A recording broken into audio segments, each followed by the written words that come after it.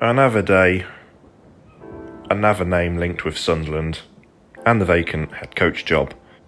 Today, it's the turn of Stephen Robinson, a 49 year old Northern Irishman who is currently the manager of St Mirren. now, I've got a hangover from watching the Champions League last night, got a bit of a headache, and I'm looking at this news and I'm looking at this bloke's career, and this one just can't be real. This one has got to be some nonsense that somehow made it into the papers. I'm just going to skip straight to his managerial record. He's been manager of Oldham Athletic, Motherwell, Morecambe, and St Mirren.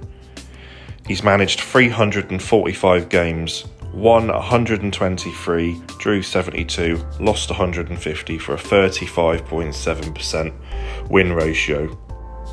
Look, individually, Oldham, his win percentage was 21.2%. At Motherwell, it wasn't too bad, 42, but then it was 25 at Morecambe, and then 34 at St Mirren, where he currently is. Not championship quality to be honest, I was disappointed the last time we uh, got a St Mirren manager in, and he was a disaster. But we're in a league above now, and we've got apparently higher ambitions.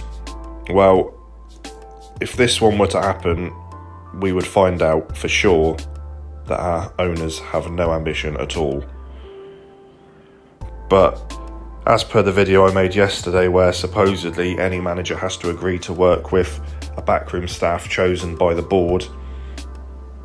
This is how deep we're going to have to dig to find a manager to agree to that.